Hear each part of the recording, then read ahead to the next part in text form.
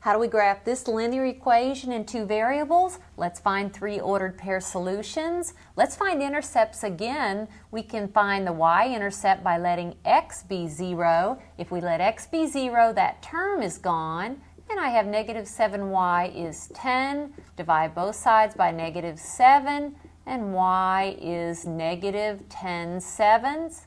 Negative 10 over 7. Let's find the x-intercept by letting y be 0. So let's find the x-intercept by letting y be 0. Let's see if we can do that one mentally. If I let y be 0, this term is gone. Divide both sides by 5, and x is 2. And then one more ordered pair solution. Let's let x be, say, 4. If x is 4, I'll have 20 minus 7y is 10. Subtract 20 from both sides, and I'll have 10 minus 20 or negative 10.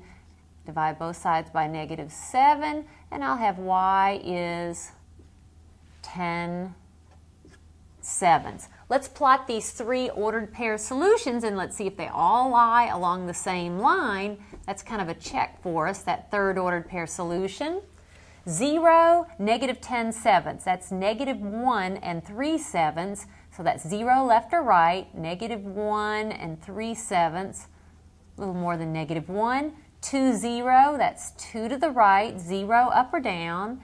4 10 sevenths, start here, go 4 to the right, and then 10 sevenths up, a little over 1, 1 and 3 sevenths. Notice they all do lie along the same straight line, and the line through them is the graph of 5x minus 7y is equal to 10.